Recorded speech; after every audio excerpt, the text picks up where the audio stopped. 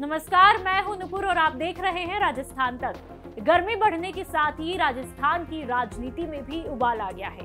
एक तरफ़ जहाँ नेताओं की बयानबाजी ही अब तक आग उगल रही थी तो इसी बीच आम आदमी पार्टी की दस्तक ने कांग्रेस और बीजेपी का चैन ही छीन लिया है। अब तक ये लड़ाई राजस्थान में सिर्फ़ दो ही पार्टी में देखने को मिलती थी। लेकिन सदियों पुरानी परिपाटी तोड़ने के लिए एक नई पार्टी ने अब आहट दे दी है। जी हाँ आम आदमी पार्टी, जो कि आम आदमी के हक के मुद्दों को लेकर राजस्थान में अपनी ज़मीन तैयार करने में जुट गई है। लेकिन उससे पहले आपको बताते हैं कि 2023 की आहट से पहले की पॉलिटिक्स पिक्चर। 2018 में निन्यानवे सीटों पर जीत के साथ सत्ता में बीजेपी को शिकस्त देकर लौटी, कांग्रेस के क्या लौटने के दिन आ चुके हैं? ऐसा हम नहीं कह रहे। जिस तरह से कांग्रेस के अपने ही समर्थक के स्वर मुखर हो रहे हैं, उनसे ये तमाम सवाल उठना लाजमी है। एक तरफ़ हाल ही के पाँच राज्यों के चुनावी नतीजों ने कांग्रेस को आईना दिखाया, जिसके बाद 2023 के अंत में होने वाले छत्तीसगढ़, एमपी और राजस्थान के रण पर सबकी नज़रें टिकी है। लेकिन यहाँ भी कांग्रेस का सबसे मज़बूत किला राजस्थान को बचाने की चुनौती बनी हुई है, जिसको लेकर के राजनीति के चाणक्य माने जाने वाले अशोक गहलोत अपना लगातार दाव भी खेलते हुए दिखाई देते हैं।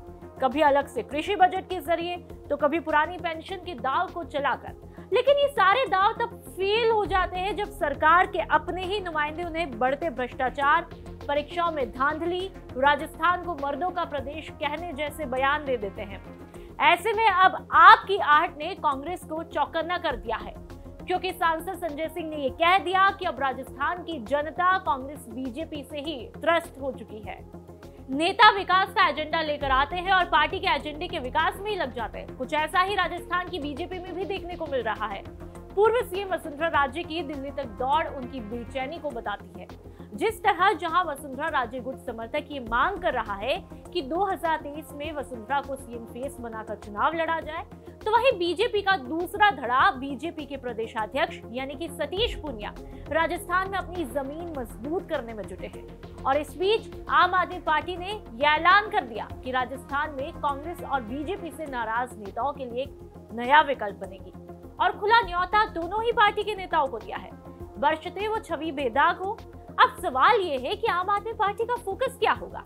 आम आदमी पार्टी की रणनीति क्या होगी? वो कौन से मुद्दे होंगे जिन पर आम आदमी पार्टी, आम आदमी की राह आसाद करेगी?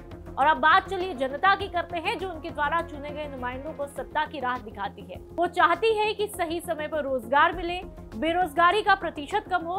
हाल ही में मैं जब एक सीएमआई की रिपोर्ट देख रही थी, उस रिपोर्ट के मुताबिक मैं बात करूँ तो देश में बेरोजगारी आठ प्रतिशत है। तो राजस्थान की मैं बात करूँ तो बत्तीस दशमलव तीन प्रतिशत पहुँच चुकी है, जो कि अब तक के सबसे डरावने आंकड़े हैं।